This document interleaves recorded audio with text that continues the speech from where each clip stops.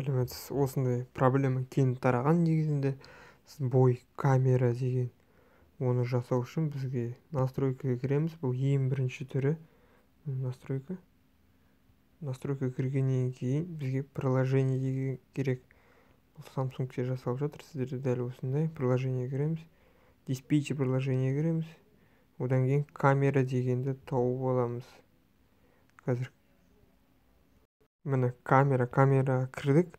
Камера кіргеннен кейін память деген бар. Очистить данные басамыз удалить дейміз. Болды. Енді тексеріп көреміз. Егер сбой камера деген орында қалса онда телефонды өшіреміз.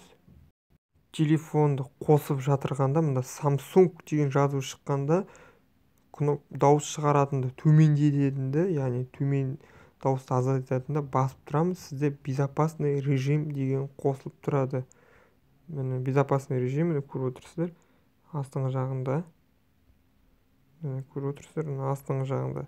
Безопасный режим деген болады. Содан кейін сіздерде установка жасалмаған программалар болады. Бірақ сіз камераға кіресіз.